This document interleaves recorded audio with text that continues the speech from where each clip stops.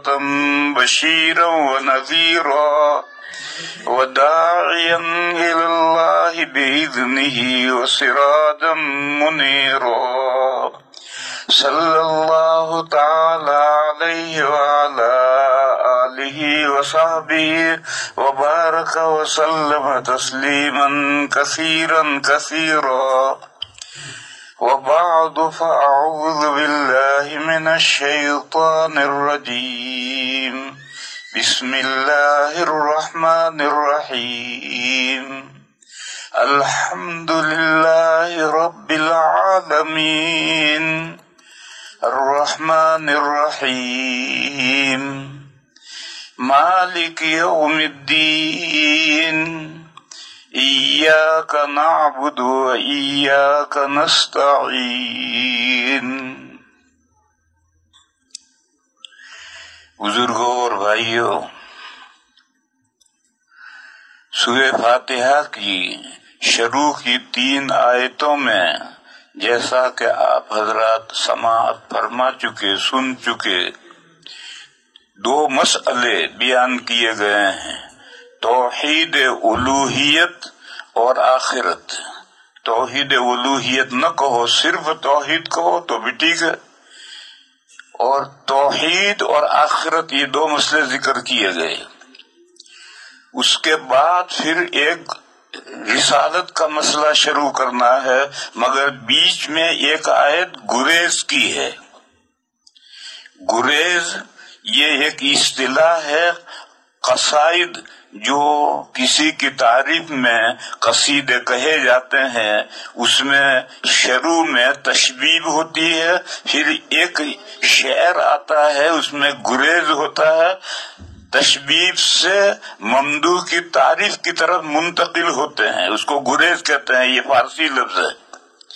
एक मौजू से दूसरे मौजू की तरफ़ मुंतकिल होने के लिए बीच में एक शेर आता है। ये कसीदों की इस्तेलाह है।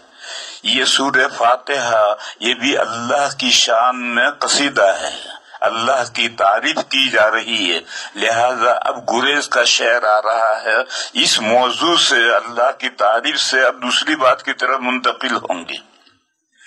फरमाते हैं ईया का नाबुदो आप ही की हम बंदगी करते हैं। वह ईया का और आप ही से हम मदद तलब करते हैं। आपके अलावा किसी की हम बंदगी नहीं करते। पूजा वर्शिप हम आपके अलावा किसी की नहीं करते, आप ही की बंदगी करते हैं। और हेल्प, मदद इस्तेआनत सहायता हम आप ही से चाहते हैं। आपके अलावा किसी से मदद भी नहीं चाहते हैं। इसलिए कि आप ही की मदद हमारे लिए काफ़ी है। आप ही की बंदगी हमारे लिए काफ़ी है।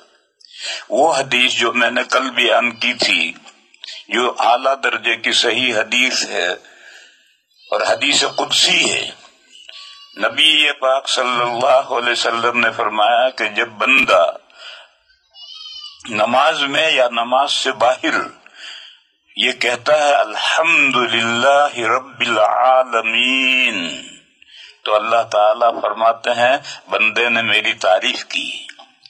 और शाह वली साहब ने फरमाया कि इस जगह पर रुक करके अक्ल के कान से अल्लाह का फरमाना सुनो और सुन करके फिर अगली आयत पढ़ो। अर्रहमान रहीम रुको। तो अल्लाह ताला फरमाते हैं, बंदे ने मेरी बुजुर्गी बयान की। इसे सुनो। फिर सुन करके फिर अगली आयत पढ़ो। मालिक यौमिद्दीन तो अल्लाह ताला कहते हैं कि बंदे ने मेरी बेहद तारीफ़ की। इसे सुनो। फिर से सुनने के बाद में फिर अगली गुरेज की आयत पढ़ो। ईया का नाबुदो ईया का हम आप ही की बंदगी करते हैं, आपके अलावा किसी की बंदगी नहीं करते। हैं और आप ही से इस्तेआनत मदद, हेल्प मांगते हैं, और किसी से हम आप इस्तेआनत हेल्प नहीं मानते उसके बाद में मेरे भाइयों और बुज़ुर्गों ये समझने की बात है कि इबादत और बंदगी कहते किसको है? जिसका नाम भी इबादत और बंदगी है, वर्शिप है इबादत पूजा है, वो अल्लाह के अलावा किसी की जायज़ नहीं है। इबादत सिर्फ़ अल्लाह की करनी है और हम ये एतराफ करते हैं कि हम ईया का ना बुद्ध हम आप ही की बंदगी करते हैं। लिहाजा बंदगी को समझना चाहिए कि बंदगी है क्या? किताबों में ये लिखा है कि इबादत गायत तजल्लुल है। आखिरी दर्जे का अपने को लाचार कर देना। तजल माने लाचार कर देना अपने आप को आखिरी दर्जे का लाचार कर दो। ये आखिरी ये, ये इसका नाम बंदगी और इबादत है। इसकी बहुत सी शक्लें हैं। अपने आप को आखिरी दर्जे तक लाचार कर देना, जलील कर देना, बे आसरा बेसहारा कर देना, उसकी बहुत सारी शक्लें हैं। एक आला दर्जे की शक्ल है, एक अदना दर्जे की शक्ल है। आला दर्जे की शक्ल तो ये है कि हम इंसान हैं और इंसान अशरफुल मखलूकत है। कुरान करीम में है, वलकद करम ना बनी आदमा। हमने आदम की औलाद को इसमें आदम सलाम भी शामिल हो गए। आदम की औलाद में आदम सलाम भी शामिल हो गए। यह आद, आदम सलाम की आदम सलाम को और उनकी औलाद को हमने उनकी रिस्पेक्ट की। वलकद करम ना बने आदमा। हमने उनकी रिस्पेक्ट की। यानी अल्लाह की तमाम मखलूकत में सबसे ज़्यादा मुआज मखलूक इंसान है। लोगों में मशहूर है कि इंसान अशरफुल मखलूकत है। तमाम मखलूकत में सबसे ज़्यादा अल्लाह के अंदिक मुआज है। लेकिन सारे इंसान एक दर्जे के नहीं जैसे एक मुल्क है। उस मुल्क में पब्लिक है। वो सारी पब्लिक, मुल्क की पब्लिक है। लेकिन सारी पब्लिक एक दर्जे की नहीं होती है। कुछ होते हैं जो हुकूमत के, बादशाह के मुख, नहायत मुखलिस होते हैं।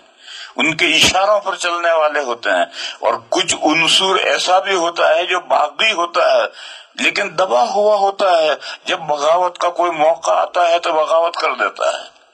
ये दोनों किस्म के, ये सारे लोग मुल्क के शहरी हैं और, मुल्क के लोग हैं, लेकिन सब एक दर्जे के नहीं है। जो मुखलिस है, वो मुखलिस है, जो बागी है, वो बागी है।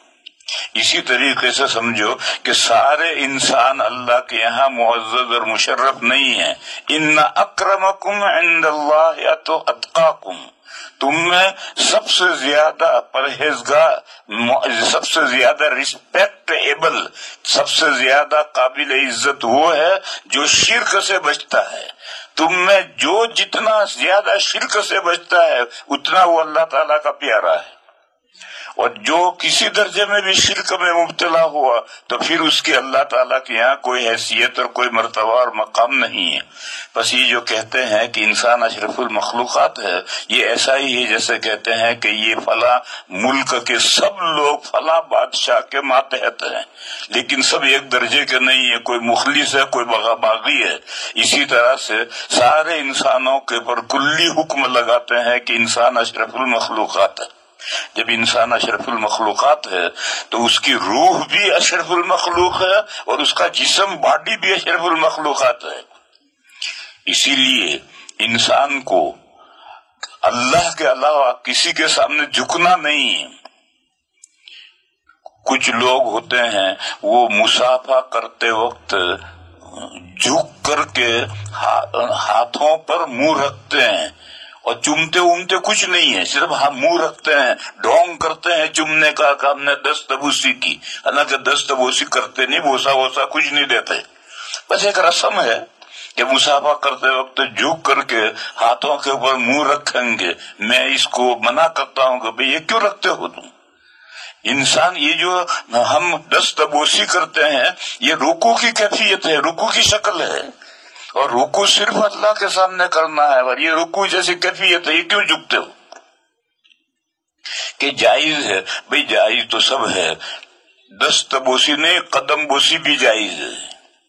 एक हदीस है, ये कबीला, नौ मुस्लिम कबीला आया, उनके, उन कबीले वालों ने नबी पाक सल्लल्लाहु अलैहि वसल्लम के कदमों को चूमा है और हुजूर ने उनको मना नहीं किया, क्योंकि नए नए मुसलमान होकर आए थे।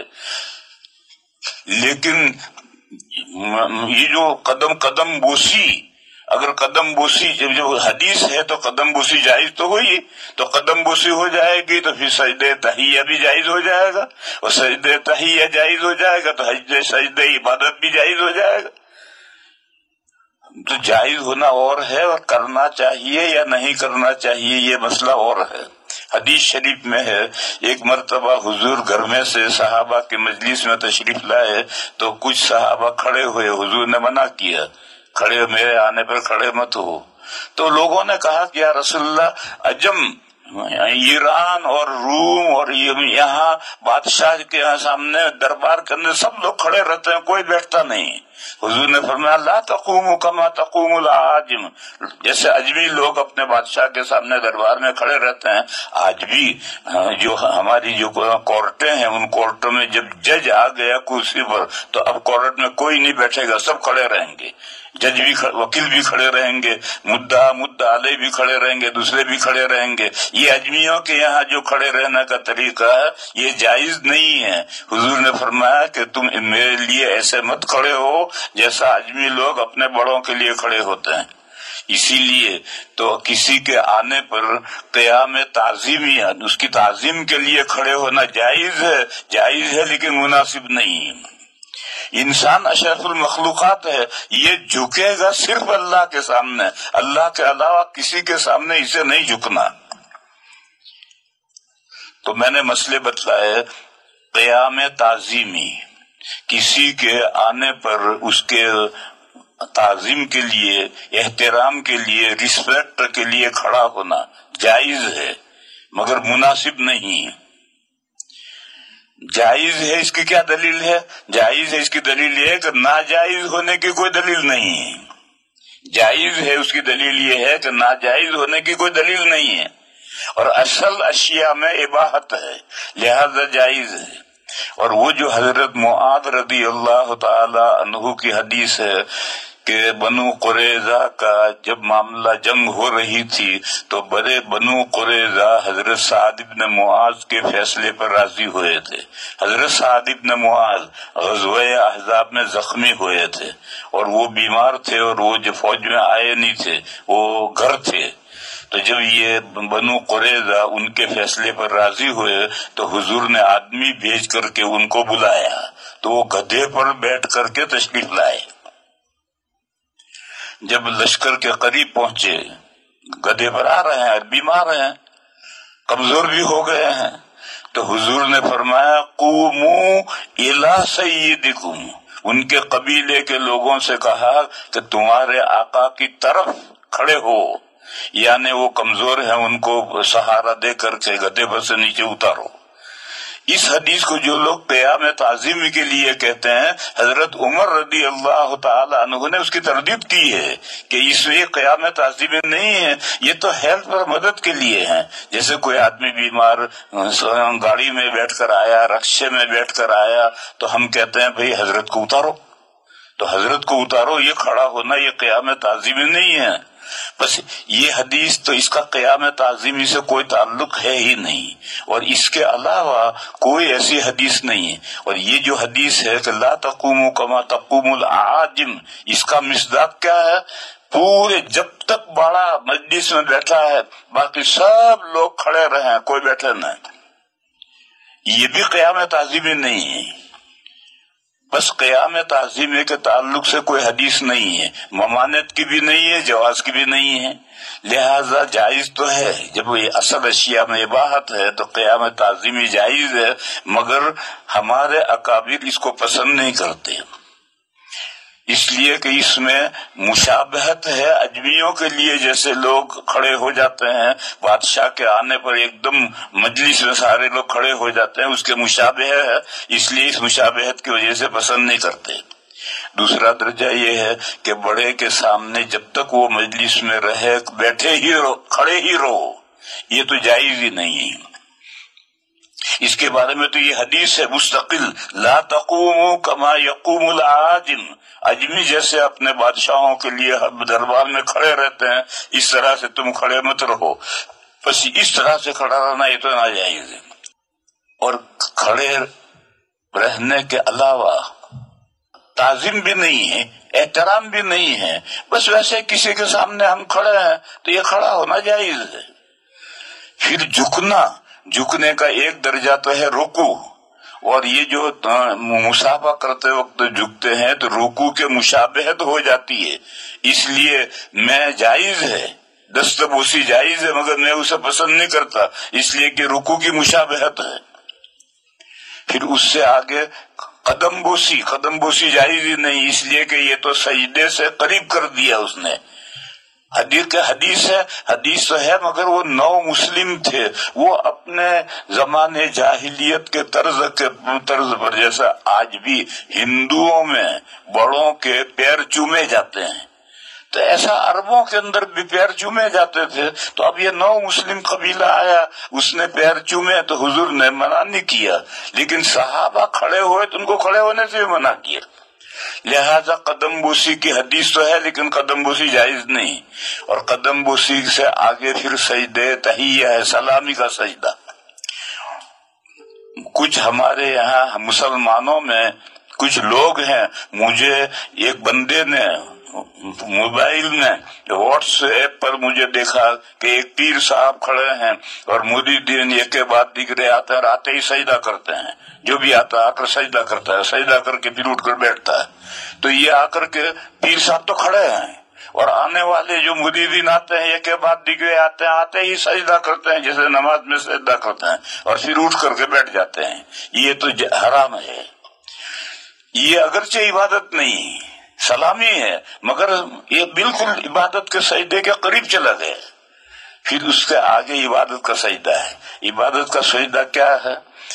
इंसान के एक नीचे का तरफ़ है, पैर वाला, और एक सर के ऊपर वाला तरफ़ है। ये सर के ऊपर वाले तरफ़ को झुका करके पैरों वाले लेवल पर ले आओ। ये इबादत का सजदा हो गया। ये सजदा हराम है। चाहे सजदा तहिया के तौर पर हो या बंदगी के तौर पर हो, ये सजदा हराम है। तरफ़ आला, सर, इसको पैरों के लेवल पर ले आओ। ये सजदा हुआ। ये जो पैरों के लेवल पर ले आना, इसमें दो घुटनों का हेल्प लेनी पड़ेगी और दो हाथों की भी हेल्प लेनी पड़ेगी। अगर हेल्प नहीं लोगे तो धड़ाम से गिरोगे। और सर की ये जो ऊपर का तरफ़ है खोपड़ी, ये सर लगा, अगर सर पे रखोगे तो पैर ऊपर जाएँगे। लिहाजा इसके बजाय माथा रखो, इसलिए कि पूरा सर है, इस सर का कोई भी जूझ रख लो, ये माथा रख लिया तो कोई हमने ये रख लिया। और पैर, अगर पैर जैसे खड़े हुए हालत में होते ऐसे ही रहेंगे तो ये सर कैसे आएगा? तो पैरों में इतना किया कि पैर उठाओ और उंगलियाँ दबा करके सजदे में रखो। ये उंगलियाँ का दबा कर सजदे में रखना, एक तरफे असफल का रखना है। और यहाँ माथा रखना, ये गोया सर का रखना है। ये इबादत का सजदा है। ये तो है इबादत जिस जो हम नमाज़ के अंदर करते हैं, ये इबादत अल्लाह ही के लिए है, इसके अलावा कोई नहीं। इसके अलावा, वो मैंने कहा था कि इबादत के माना लिखते हैं, गायत तजल्लुल यानी अपने आप को बिल्कुल लाचार करके पेश करो। तो किराम कुरान करीम में ये है कि अगर आप जानवर को जबा करते हैं और जबा करते के वक्त कहते हैं कि बिस्म फुलानिन, फुला के नाम पर जबा करता हूँ, ये मुर्दार हो गया आराम हो गया। जब बिस्म फलानिन कहकर जबा किया तो ये बंदगी इबादत की, लिहाजा ये जानवर हराम हो गए, इसे नहीं खा सकते। इसी तरीके से किताबों में मसला है कि अगर कोई जानवर किसी के नाम पर छोड़ा गया, आज ही आयत पड़ी है, माँ जान बहीरत वाला साहिबत वाला वसीलत वाला हामिन। ये वो जानवर थे जिनको मुशरकिन बूतों के नाम पर छोड़ते थे। आज भी अगर किसी वली के नाम पर या किसी बुज़ुर्ग के नाम पर कोई बकरा या मुर्गा छोड़ दिया गया तो ये हराम हो गया। जब तक भी छोड़ने वाला अपने अमल से तोबा न करे। और तोबा करने के बाद में फिर बिस्मिल्लाह, अल्लाह अकबर कहकर जबा करे तो हलाल होगा। लेकिन जब तक वो तोबा नहीं करेगा, अगर बिस्मिल्लाह, अल्लाह अकबर कहकर जबा करोगे, तब भी हराम। इसी तरीके पर गैरुल्लाह की मन्नत मानना अल्लाह के अलावा कोई के मे, मेरा लड़का बीमार हुआ है ये हुआ है वो हुआ है तो अगर ये अच्छा हो जाएगा तो मैं फला पीर साहब के नाम का चिराग भरूँगा इतना तेल दूँगा दरगाह में तेल दूँगा इतना दूँगा ये गैरुल्लाह की मन्नत मानना ये भी हराम है। मैं तो ये समझा रहा हूँ कि इबादत की बहुत सारी शक्लें हैं। जितनी भी शक्लें हैं इबादत की हैं, ये अल्लाह के अलावा के लिए हराम है। सारी इबादतें अल्लाह ही की है। हम ये एतराब करते हैं या का ना बुदो हम आप ही की इबादत करते हैं। आपके अलावा किसी की बंदगी नहीं करते। एक बड़े आदमी हिंदुस्तान के गुजरे हैं, मौलाना मोहम्मद अली जौहर। ये जब मुल्क की आज़ादी की जंग हो रही थी, उस वक्त में उनका बड़ा किरदार है और अंग्रेज़ी बहुत शानदार जानते थे। और कामरेड रिसाला निकालते थे, हफ्तावारी रिसाला निकालते थे। और ज़ुबान इतनी शानदार थी कि हिंदुस्तान का वायसराय भी खरीदार था और उसकी बीवी भी खरीदार थी। दोनों अलग अलग खरीदार थे। अंग्रेज़ी इतनी शानदार उनकी अंग्रेज़ी थी। और आखिर में गोल मेज कॉन्फ्रेंस में लंदन गए और उन्होंने जो आखिर पे तकरीर की है, वो तकरीर ये की कि मैं आज़ादी लेने के लिए आया हूँ। मैं गुलाम मुल्क में वापस नहीं जाऊँगा। या तो मुझे आज़ादी दो या मौत दो। अल्लाह का करना एक आज़ादी तो उस वक्त तो मुकद्दर नहीं थी, मगर मौत का वक्त तो करीब आ गया था, उनका लंदन में इंतकाल हुआ। फिर उनका जनाजा लंदन से बैतुल मकदस फिलस्तीन ले जाकर वहाँ तदफीन अमल में आई। बहरहाल, ये इस्लामी तारीख के बहुत बड़े आदमी हैं, मौलाना मोहम्मद अली जौहर। उनका वो अंग्रेज़ी जैसे बेहतरीन जानते थे, उर्दू तो उनकी मादरी ज़ुबान थी, और शायर थे तो उनका एक शहर है। तोहीद तो ये है कि खुदा खुद हशर में कह दे तोहीद किस चीज़ का नाम है? तोहहीद तो ये है कि खुदा खुद हशर में कह दे कि ये बंदा दो आलम से खफा मेरे लिए था। सारी दुनिया से खफा था, खफा था क्यों? मेरी वजह से खफा था। इस हदीस शहर से समझो कि इबादत में हर एक से खफा को खफा हो जाना है।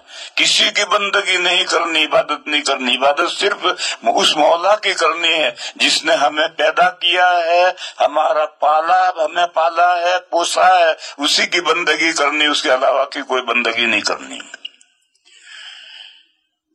फिर उसी बंदगी में ये जुज भी आता है कि आप इस्तिमदाद मदद तलब करें। तो मदद तलब अगर आप करें तो ये भी इबादत में आता है। इसलिए अगले जुमले में ये कहा कि हम आपके अलावा किसी से मदद भी नहीं तलब करते। ईया का नस्ता है इन आप ही के हम, मदद, आप ही से मदद तलब करते हैं, आपके अलावा किसी से मदद तलब नहीं करते। मदद तलब करने के बारे में दो कायदे समझो। ये कायदा तो ये है ऑर्डिनरी उमूर यानी आम तौर पर है आम तौर पर जो उमूर होते हैं उनमें आप मसलन एक आदमी इंसान ने खेत में घास का गट्ठड़ बनाया भारी है उसने किसी से कहा भैया जरा मेरे सर पे दर्द है तो ये जायज़ है ऑर्डिनरी उमूर है उसमें कोई हर्ज नहीं और एक वो उमूर है कि जो किसी इन मखलूक के बस में नहीं है। हम किसी कबर पर जाकर या किसी बुज़ुर्ग से ये कहें कि हमें मेरी औलाद नहीं होती, आप मुझे औलाद दे दें। ये जायज़ नहीं ये इस्तिमदाद है। ये इस्तिमदाद है और इस्तिमदाद सिर्फ़ अल्लाह से अल्लाह के अलावा किसी की इस्तिमदाद जायज़ नहीं। और ऑर्डिनरी उमूर है। आमतौर पर रोज़मर्रा के जो उमूर है, उन उमूर में किसी से मदद तलब करो तो जायज़ है। लेकिन गैर मामूली उमूर जो है, उनमें किसी से मदद करना है। इसको एक दूसरी मिसाल से समझो। एक हदीस है। जब नबी पाक सल्लल्लाहु अलैहि वसल्लम मक्का तशरीफ़ ले जा रहे थे उमरा करने के लिए, और मुशरकिन ने रोक दिया, और हुदैबिया में रुक जाना पड़ा। तो हुदैबिया में फिर सुलह हुई है, और सुलह हुदैबिया उसे कहते हैं लंबा वाकया है। ये हुदैबिया में नबी पाक सल्लल्लाहु अलैहि वसल्लम को कई दिन रुकना पड़ा है। मक्का वालों से आप सफीर आते थे, जाते थे, गुफ्तगुएँ होती थी, मुसालहत की तो कई दिन रुकना पड़ा था। एक दिन बारिश हुई रात में, और अरब में जब बारिश होती है तो छाजों बरसती है। बड़ी तेज बारिश तो होती है। आप हज़रत को ये जानना चाहिए कि अरबो, अरब में अरब में बारिश का कोई सीज़न नहीं है। वहाँ सीज़न जो चार हैं वो गर्मी सर्दी रबी और खरीफ। बस यही चार सीज़न है। बरसात वहाँ कोई सीज़न ही नहीं है। जैसे हमारे यहाँ बरसात एक सीज़न है और चार महीने तक बारिश होती रहती है, ऐसा अरब में नहीं है। अरब में बारिश होती है, किसी भी वक्त हो जाएगी। इन चार मौसमों में से किसी भी मौसम में बारिश हो जाएगी और जब बारिश होगी तो वहाँ पहाड़ ही पहाड़ खड़े हैं। तो पहाड़ों पर से इतना पानी आता है कि गाड़िया की गाड़िया और बसें की बसें खींच जाती हैं। तो हुदैबिया में एक रात में बारिश हुई। अच्छा फिर बारिश जब होती है तो घंटा, दो घंटा तो जैसे आसमान टूट पड़ा। और घंटा, दो घंटे के बाद बारिश रुकी तो कुछ भी नहीं। पानी का कतरा नहीं सब पानी बहा था, वो सारे बह के चला जाता। है तो रात में बारिश हुई, सुबह खत्म हो गई तो हुजूर ने फजर की नमाज़ पढ़ाई। और फजर की नमाज़ पढ़ाने के बाद हुजूर ने एक तकरीर की और फरमाया कि जानते हो, आज रात अल्लाह ताला ने क्या फरमाया? तो साहबा ने चुप रहे। अल्लाह ने क्या फरमाया? साहबा कैसे जानेंगे? वो तो अल्लाह का रसूल ही जानेगा हुजूर ने फरमाया कि आज रात बारिश होने के बाद जब बारिश रुकी तो अल्लाह ताला ने ये फरमाया कि मेरे बंदों ने दो तरह से सुबह की। बाज तो वो हैं जिनका मुझ पर यकीन है। उन्होंने कहा कि मुदिरना बेफदल्ला हमें अल्लाह के मेहरबानी से बारिश मिली। और कुछ बंदे वो हैं जो मेरे मेरे मुनकिर हैं, मुझे नहीं मानते। वो कहते हैं, मुदिरना बे नौ एक खुदा निछत्तर लगा, इसलिए बारिश हुई। निछत्तर ये हमारे यहाँ हिंदी महीनों में भी है। पंद्रह पंद्रह दिन के निछत्तर अलग होते हैं। बरसात के जो चार महीने हैं, उसमें आठ निछत्तर हैं। और आठ निछत्तरों की क्या खासियतें हैं? किस निछत्तर में गर्मी पड़ती है? किस, कौन से निछत्तर में अच्छी मुबारक बारिश होती है? कौन सी में? ये सब मुतन है। और हिंदी जो लोग जानने वाले हैं, वो सब जानते हैं। लेकिन अगर कोई ये कहता है कि फुला निछत्तर लगा, इसलिए बारिश हुई तो ये निछत्तरों पर ईमान रखता है, मुझ पर यकीन नहीं रखता है। इस हदीस शरीफ से मालूम हुआ कि वो बात, वो चीज़ें जिनकी तासीर मख्फी है, उसमें निस्बत जायज़ नहीं। और जिसकी तासीर वाजे है, उसमें निस्बत जायज़ है। मसलन भाई, तुम्हारा ये लड़का बच्चा बीमार था, कैसा तो खेल कूद रहा है? तो ये कहा कि फला डॉक्टर से इलाज कराया, फला हकीम से इलाज कराया अच्छा हो गया। ये निस्बत जायज़ है। क्योंकि दवाएँ लाना और दवाओं से शिफा होना, ये इसके ये बदी ही तासीर है। इसको हर कोई जानता है। और इसमें कोई अकीदा बिगड़ता नहीं है, अगर निस्बत करें कि फला डॉक्टर से इलाज कराया, फला हकीम की दवा लाया, इसलिए बच्चा अच्छा हो गया, ये निस्बत जायज़ है, इस तासीर वाजे है। या जैसे कि यूरोप में जहाँ हर वक्त बादल रहते हैं सूरज निकलता ही नहीं है, चाँद निकलता ही नहीं है। वहाँ फूलों के अंदर खुशबू नहीं होती है और फलों में मिठास नहीं होती है। तो कोई पूछा कि भाई ये गुलाब का फूल है, इसमें खुशबू तो कुछ है ही नहीं। तो कहा, कहाँ से खुशबू होगी? जब चाँद निकलता ही नहीं है और सूरज निकलता ही नहीं है तो कहाँ से खुशबू होगी? ये फल, फूलों के अंदर जो खुशबू पैदा होती है, वो चाँद की बरकत से होती है। या फल है खट्टा। देखो, सर्दी में जो संतरा आएगा, खट्टा होगा। यही संतरा गर्मियों में जाकर मीठा हो जाएगा। सर्द सर्द मुल्कों के अंदर जो सेब है, वो खट्टा होगा। और वही सेब हमारे यहाँ आकर के बेहतरीन, कश्मीर में आकर बेहतरीन हो जाता है। कभी ये क्यों फ़र्क है? ये सूरज की तासीर का फ़र्क है। इस पर सूरज निकलता है, जहाँ निकलेगा, वहाँ संतरा मीठा हो जाएगा और सेब मीठा हो जाएगा। और जहाँ सूरज नहीं निकलेगा, वहाँ संतरा खट्टा होगा। सर्दियों में संतरा खट्टा होगा। तो बहरहाल, ये जो है कि आओ खाना खा लो। तो मैं मैं शिकम सैर हूँ। तो कैसे शिकम हो का मैं घर से खा कर आया हूँ। तो अब पेट भरा हुए होने को रोटी खा साधन की तरफ़ मंसूब करना ये जायज़ है। क्योंकि ये बदी ही तासीर है।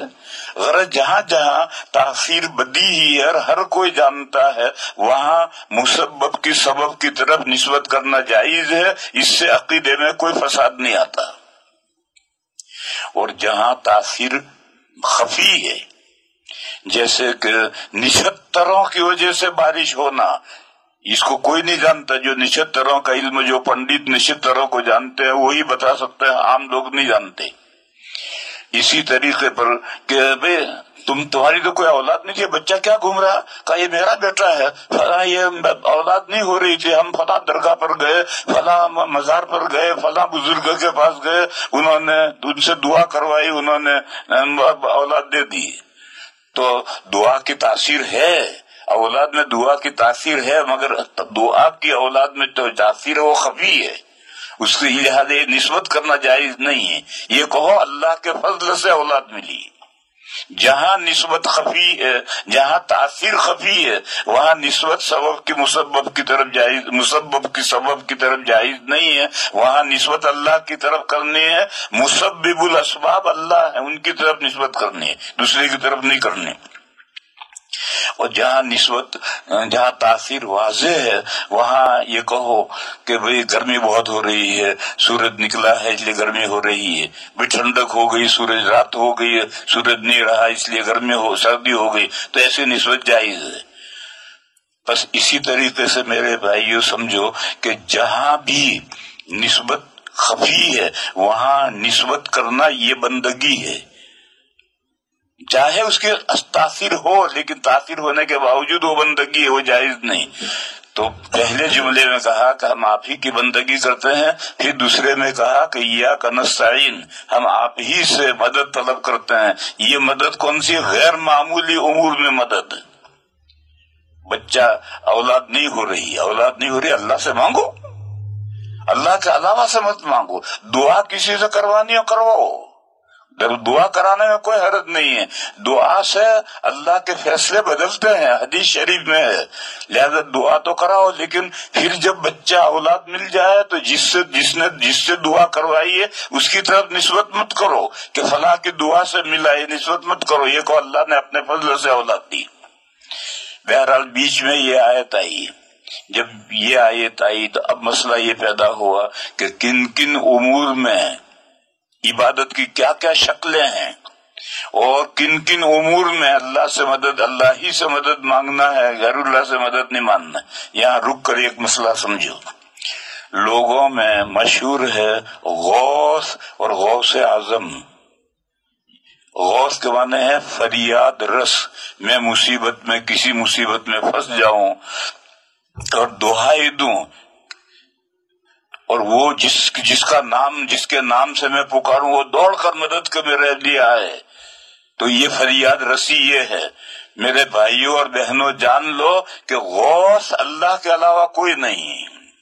फरियाद रस अल्लाह के अलावा कोई नहीं।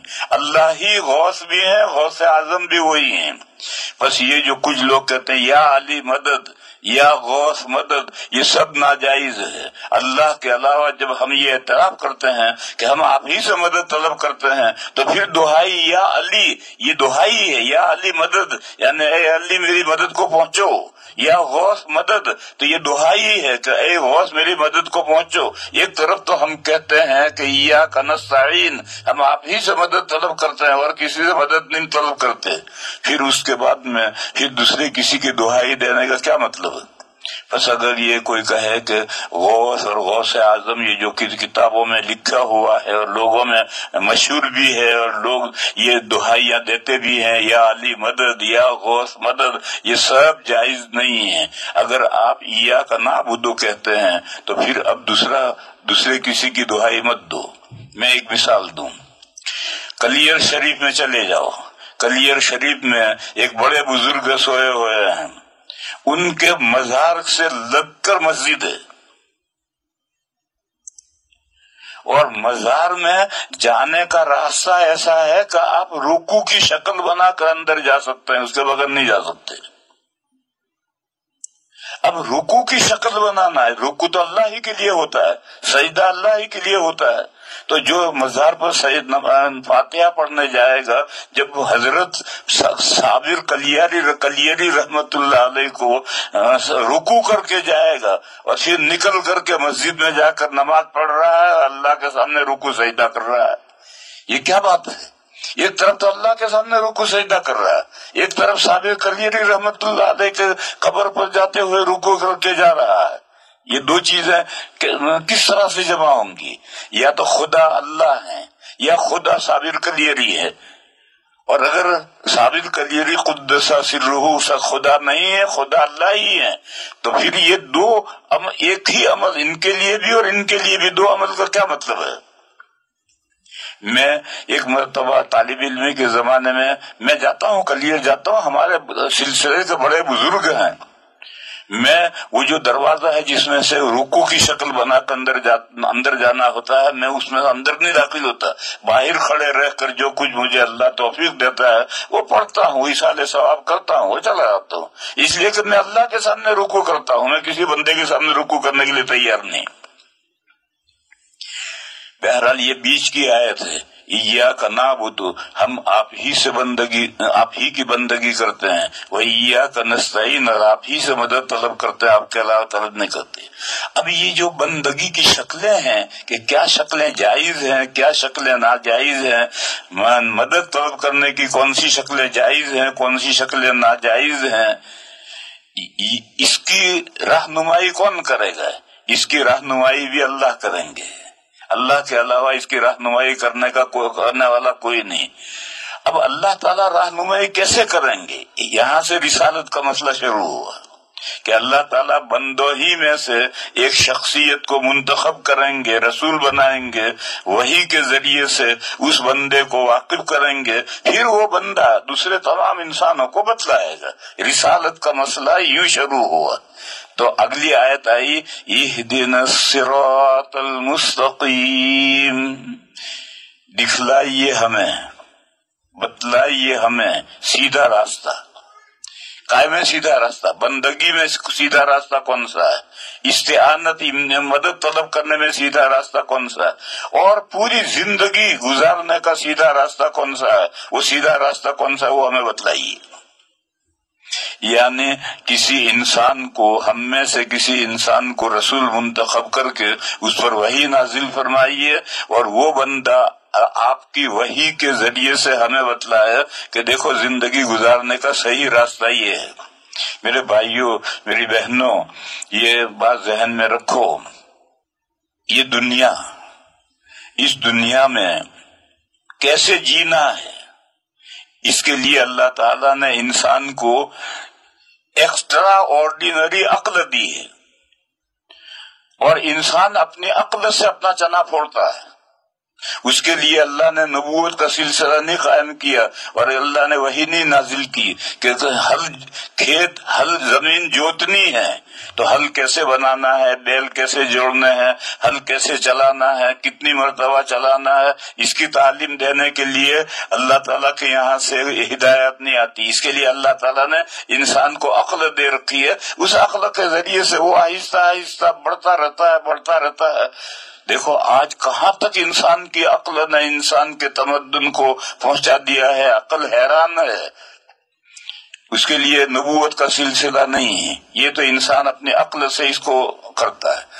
लेकिन एक है, इस ये दुनिया गुजर करके फिर अगली दुनिया शुरू होगी। वहाँ से चलकर अल्लाह तक पहुँचना। कौन सा, कौन से इस दुनिया में कौन से आमाल करोगे अच्छे?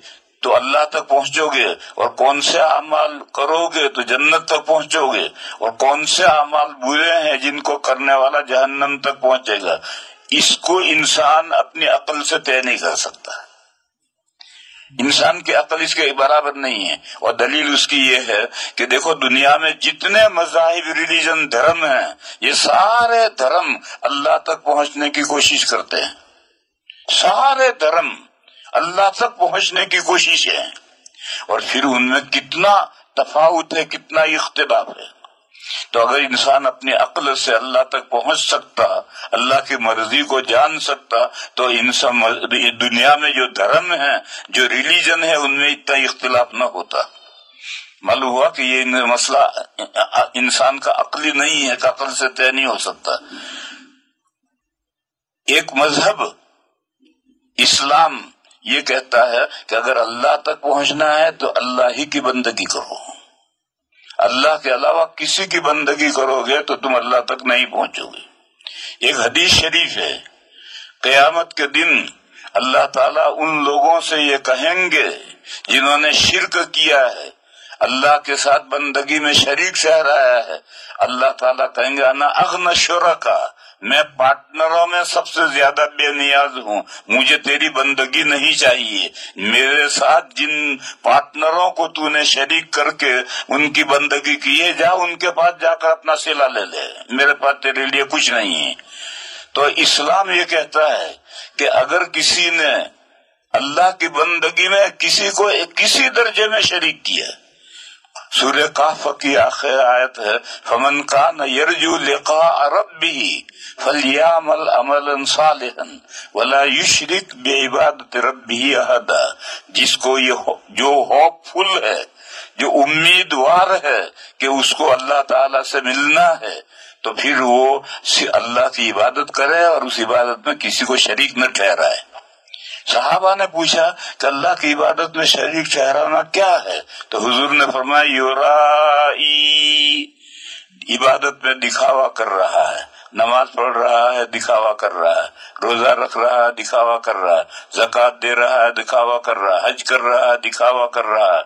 तो ये दिखावा करना, ये भी दूसरे को अल्लाह के साथ शरीक करना है ऐसी इबादत अल्लाह के यहाँ मकबूल नहीं बहरहाल, इस्लाम ये कहता है कि अगर तुम्हें अल्लाह तक पहुँचना है तो अल्लाह ही से लौ लगाओ। अल्लाह ही का ध्यान रखो। सीधे अल्लाह ही की तरफ़ जाओ। अल्लाह के अलावा किसी का कोई आसरा मत ढूंढो। एक दूसरा मज़हब है।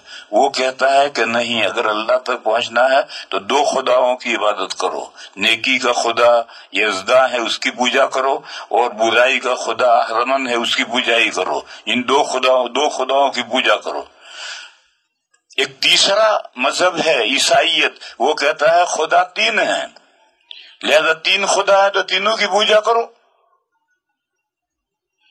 एक और मज़हब है वो कहता है कि खुदा बेशुमार है, हिंदू मज़हब। वो कहता है कि खुदा बे करोड़ों है, हर चीज़ का खुदा अलग है। अब ये जो मजाहिब का इख्तलाफ है, अब ये सारे बंदे अल्लाह तक पहुँचना चाहें तो कैसे पहुँचेंगे? जिसको वही पहुंचेगा, जो जिसकी रुख सीधा अल्लाह की तरफ़ है, वही जा रहा है, वही पहुंचेगा। अरब का एक बद्दू ऊँट पर बैठ करके जा रहा था। रास्ते में कोई मिला उसने भैया, कहा जा रहा है? उसने कहा, मक्के जा रहा हूँ। उसने कहा कि, मक्के जा रहा है? तू कभी भी कयामत तक भी मक्के नहीं पहुँच सकता। तू तो जिस रास्ते पर रोड पर जा रहा है, ये रोड तो खुरासान, चाइना जा रहा है। तो तू इस रोड पर जितना चलेगा, का मक्के से दूर होगा, मक्के तक कैसे पहुंचेगा? तो जो चंद खुदाओं को पूछता है, वो अल्लाह तक कैसे पहुंचेगा? वो तो जितना भी पूजा करेगा, इतना दूर होगा। अल्लाह तक तो वही पहुंचेगा जो सिर्फ़ अल्लाह की बंदगी करता है, दूसरा नहीं पहुँचते। बहरहाल, ये जो दुनिया में मजाहिब का इख्तलाफ है और इंसान तरह तरह के मजाहिब को मानते हैं, ये सब मजाहिब जो इंसानों के हैं, ये अल्लाह तक पहुँचाने वाले नहीं है। अल्लाह तक पहुँचाने वाला मज़हब वही है, जो सिर्फ़ अल्लाह की बंदगी करने वाला मज़हब है। और वो वही है जो अल्लाह ताला ने इंसानों को रसूलों के ज़रिए से समझाया है। इसी का नाम मसल रिसालत है। यूँ एक दिन सिरात मुस्तकीम से रिसालत का मसला शुरू हुआ। रास्ते सीधा और उल्टा भी होता है। जैसा ये मक्के जा रहा था, मक्के का रास्ता ये है, और खरासान का रास्ता ऑपोजिट है, चाइना का रास्ता ऑपोजिट है। इसी तरह से किसी मकसद की तरफ़ जाने वाले रास्ते भी मुख्तलिफ़ हैं। एक सीधा है, एक लॉन्ग है, एक शॉर्ट है, मुख्तलिफ़ रास्ते होते हैं। तो जो सबसे बेहतरीन रास्ता होता है, वही सीधा रास्ता होता है। तो हम ये दुआ करते हैं एक दिन सिरातुल अल्लाह, हमें आप सीधा रास्ता दिखाइए। दिखाया अल्लाह ने। आदम सलात सलाम से लेकर के मुसलसल अंबिया भी आते रहे, रसूल भी आते रहे। कितने नबी आए, मालूम नहीं। कितने रसूल आए मालूम नहीं। और अल्लाह की किताबें भी नाजिल होती रही। कितनी किताबें नाजिल हुई मालूम नहीं। एक हदीस है, लेकिन हदीस जयीफ है। और जयीफ हदीस का पर यकीन नहीं करना चाहिए।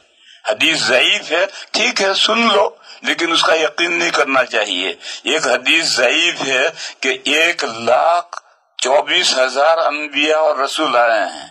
और तीन सौ तेरह उसमें रसूल हैं और अल्लाह की एक सौ चार किताबें नाजिल हुई हैं। उनमें से चार किताबें बड़ी हैं। ये जो हदीस है, ये जयीफ हदीस है। और जयीफ हदीस अगर इंतहाई जयीफ है तो उसका तो लेना ही नहीं है। अगर अगर जयीफ हदीस इंतहाई जयीफ हदीस है तो उसको नहीं लेना। इंतहाई जयीफ हदीस की मिसाल दू मैं। एक हदीस है कि जो नमाज़ साफा बाँध कर पढ़ी जाए तो उसका 25 गुना सवाब मिलता है। जो नमाज़ साफा बाँध कर पढ़ी जाए तो उसका सवाब 25 गुना मिल, मिलता है। कुछ लोग इस हदीस ये हदीस इंतहाई दर्जे की जयीफ है। और इंतहाई दर्जे की जो जयीफ हदीस होती है इसको मौजू हदीस कहते हैं बड़ी हुई हदीस कहते हैं। सीयूती रहमत ने जाम सगीर में ये हदीस लिखी और उसमें लुआत का निशान बनाया कि जयीफ है। लेकिन जयीफ नहीं है, ये तो मौजू के दर्जे की हदीस है। कुछ लोग इस ऐसी हदीसों को नहीं लिया जाएगा। कुछ लोग ये कहते हैं, खुले सर नमाज़ पढ़ो, यही सुन्नत है। भाई, ये हदीस है और तू कहता, खुले सर नमाज़ पढ़ो, ये सुन्नत है।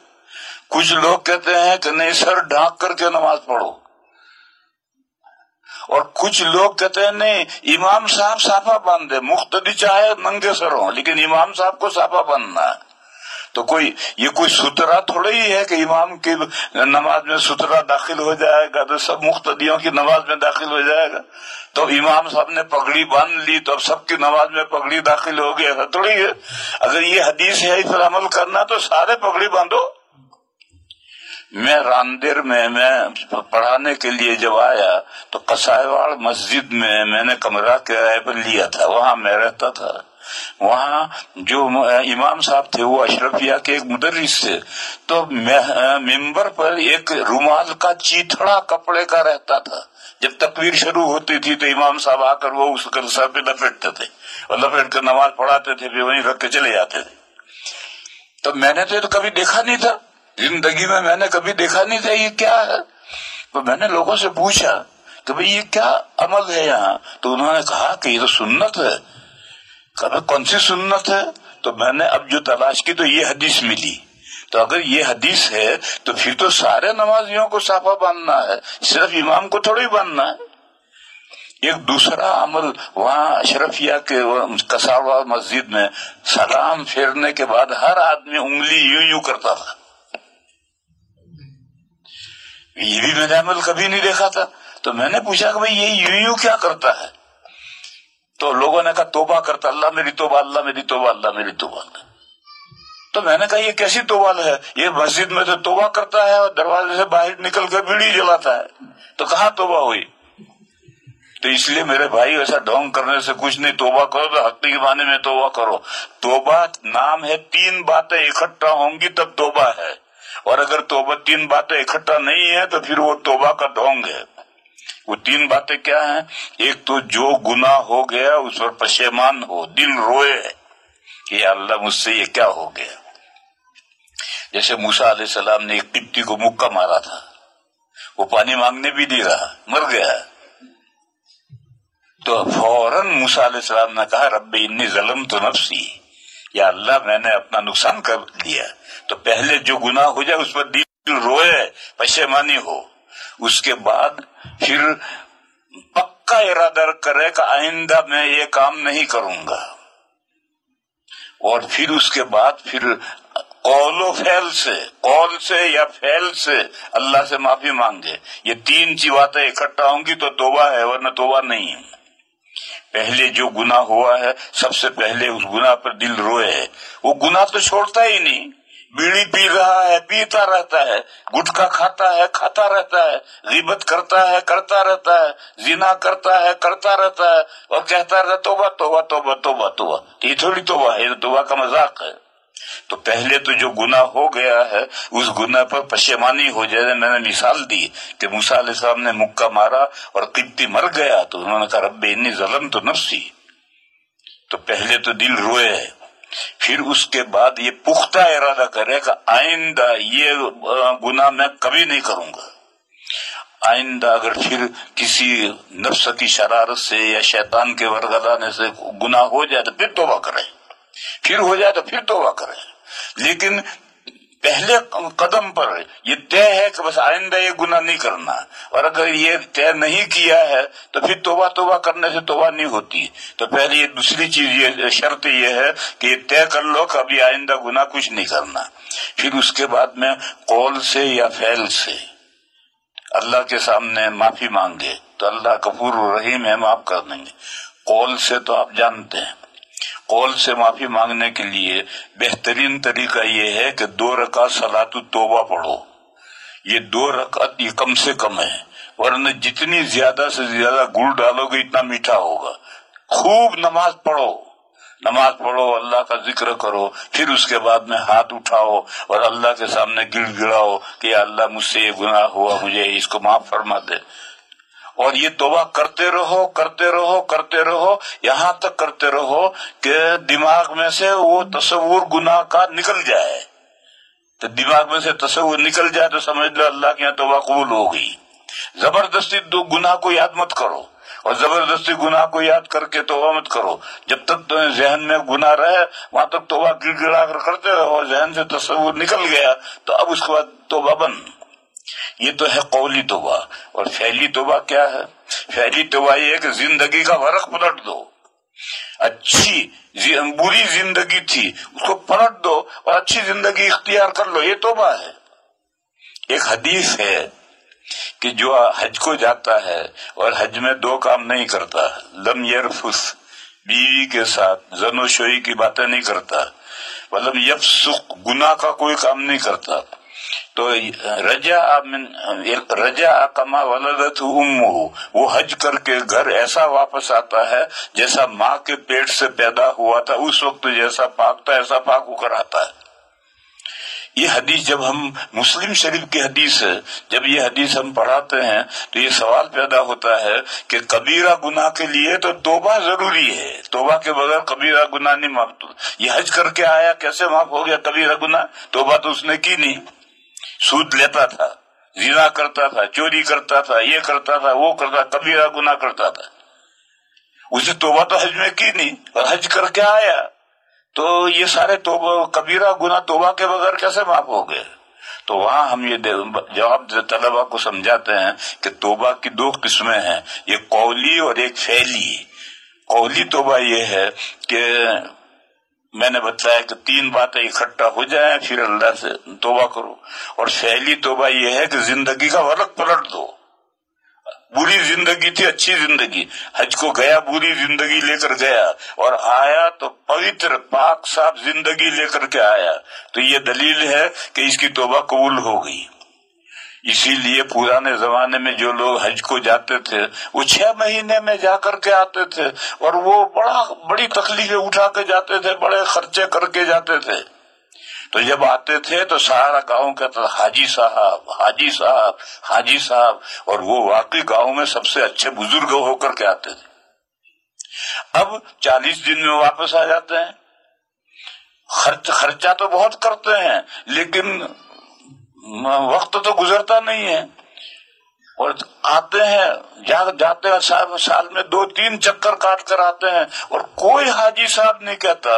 अगर कहेगा तो पाजी साहब कहेगा। पाजी साहब पाजी साहब हाजी साहब कोई नहीं कहता। क्यों? उसकी ज़िंदगी तो पलटी नहीं। बहरहाल मैं समझा रहा था कि एक तोबा है फैली। फैली तोबा ये है कि आदमी की ज़िंदगी का वरख पलट जाए। बुरी ज़िंदगी लेकर गया था, अच्छी ज़िंदगी लेकर आ गया। इसी तरह से हज को नहीं गया। घर है, लेकिन घर रह करके उसने अपनी ज़िंदगी का वरक पलट दिया। तो ये भी तोबा फैली है। एक हदीस सुना हूँ मैं।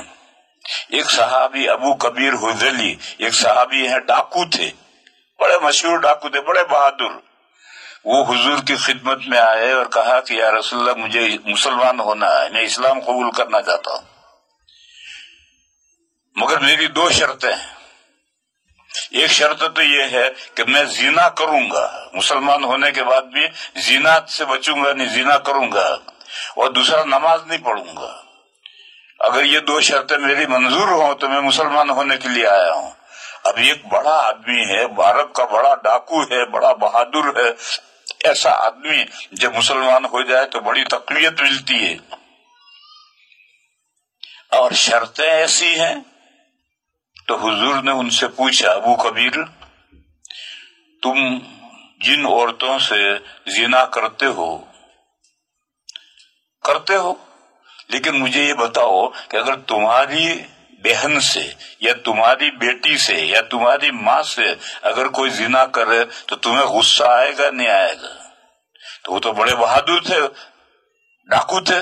उन्होंने कहा, मैं कम कम वक्त वो कत्ल कर दूँगा। तो हुजूर ने फरमाया कि फिर तुम जिन औरतों से जिना करते हो, वो भी तो किसी की बेटी है, किसी की बहन है, किसी की माँ है। तो कहने लगे यार रसुल्ला मैंने तोबा की है। जिना नहीं करूँगा, मुसलमान होने के बाद जिना नहीं करूँगा। समझ में आ गया? तो हुजूर ने फरमाया कि, ला खैर अफी दीन ला सला फ़ी। जिस दीन में नमाज़ नहीं है, उसमें क्या भलाई है? अगर तुम मुसलमान होकर नमाज़ नहीं पढ़ोगे तो क्या बुलाइए हदीस शरीफ में है कि बैनल ईमान वल कुफर तरकु सलाह। ईमान और कुफर के दरमियान में बारियर दो रोडों के बीच का जो हिस्सा है, वो है नमाज़ न पढ़ना। जो नमाज़ नहीं पढ़ता, वो बारियर पर खड़ा है। न वो इस्लाम की तरफ़ है, न कुफर की तरफ़ है। एक कदम आगे गया, कुफर में गया। एक कदम पीछे आया, नमाज़ पढ़ना शुरू कर दिया, इस्लाम में आ गया। तो हुजूर ने फरमाया कि जिस दिन में नमाज़ नहीं है, उस दिन में क्या खैर है? तो सोच कर कहने लगे, फिर पढ़ूँगा नमाज़। फिर दोनों शर्तें खत्म करके फिर ईमान लाए।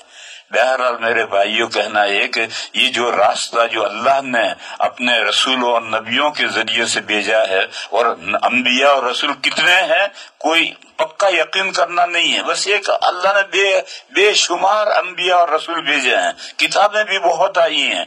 कुरान में चार किताबों का नाम है। उनको तो मानना है कि चार का ये अदद चार का अदद तो पक्का है। लेकिन सारी किताबें कितनी है, उसके लिए हदीस जयीफ है। जिस हदीस में एक सौ चार किताबों का ज़िक्र आया है।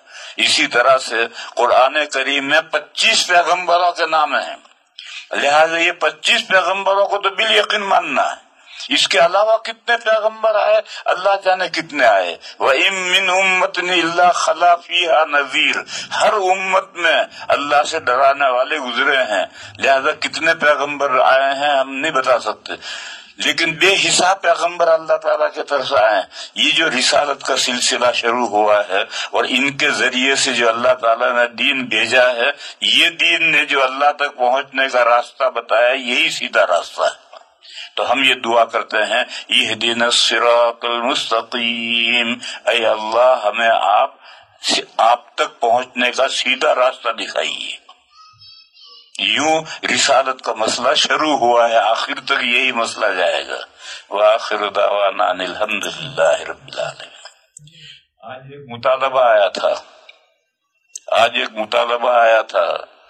एक दोस्त ने लिखा कि ये जो आप ईशा के बाद तकरीर करते हैं, हम लोग जो हैं ईशा के बाद, तरावी के बाद खाना खाते हैं। तो हमारे पास में वक्त नहीं होता है। गुजराती तीन मरतबा खाता है। सारे लोग तो दो मरतबा खाते हैं, लेकिन गुजराती तीन मरतबा खाता है। एक इफ्तारी में खूब डट कर पेट भर कर खाएगा। फिर तरावी के बाद बैठेगा तो जब तक पेट में जरा भी जगह है, उठेगा नहीं। फिर सो जाएगा, फिर शहरी में उठाकर जितना करने सारा चट कर जाएगा। तो अब गुजराती को तो खाना खाने के लिए तो घंटा भर चाहिए। तो उसने कहा कि आप असर के बाद तकरीर करें तो हम असर के बाद सोच तो मैंने कहा कि मैं रात को दोस्तों से, अहबाब से मशवरा करूँगा। मैंने मशवरा किया। तो अहबाब ये कहते हैं कि अगर हम असर के बाद तकरीर करेंगे तो बेचारी औरतें तो नाश्ता तैयार करने में, खाना तैयार करने में मशगूल हैं। औरतों को तो सुनने का मौका ही नहीं मिलेगा। और अगर खाना पकाने में जरा गड़बड़ हो गई तो बाद शोहर तो बड़े बदतमीज होते हैं। बीवी को परेशान कर देते हैं। इसीलिए मसला है कि अगर शोहर बद दिमाग है और खाने में नमक हल्का रह गया है, तेज हो गया, उससे उसको गुस्सा है तो उसको साधन चख सकती है। चख सकती है का मतलब भी नहीं समझते लोग। चखना ये है कि उंगली भिगाओ साधन में और ज़ुबान पर रखो। और फिर थूक दो। उसको निगलना नहीं है। अगर ये ज़ुबान पर लिखा है, इसको अगर निकलोगे तो हृदय औरत का टूट जाएगा। ज़ुबान पर रख करके उसको थूक देना है तो पता चल जाएगा कि नमक कैसा है। तो शरीयत ने यहाँ तक औरतों को इजाज़त दी है, क्योंकि अगर वो नमक सही नहीं होगा तो शोहर उसके ऊपर सर फोड़ देगा। तो इसलिए दोस्तों ने कहा कि असर बाद हम तकरीर एक तो असर के बाद दिमाग का स्क्रू ढीला हो जाता है। रोज़े का आखिरी वक्त होता है, उस वक्त दिमाग काबू में भी नहीं रहता और अभी तो पान वान खाकर तैयार होकर बैठते हैं तो दिमाग काबू में रहता है। इसलिए दोस्तों की राय असर के बात की नहीं है। अलबत्ता एक बात यह है कि अगर लोग कोई बात मसला पूछना चाहें, ज़रूरत का मसला पूछना चाहें तो वो पूछ सकते हैं। साढ़े ग्यारह के बाद, साढ़े ग्यारह से लेकर बारह तक हम सवाल के जवाब देंगे। मगर ज़रूरत के मसले पूछो, खाम खा के बेकार बेकार मसले मत पूछो। और ज़रूरत के मसले व्हाट्सएप पर पूछने हो, पूछो दूसरे, मेरे जहन में जो कोई आएँगे, मसले आएँगे तो मैं भी बयान करूँगा। बाकी असर के बाद प्रोग्राम रखने का मसला नहीं तो मेरे लिए भी दुश्वारी है, दिमाग काबू में नहीं होता है।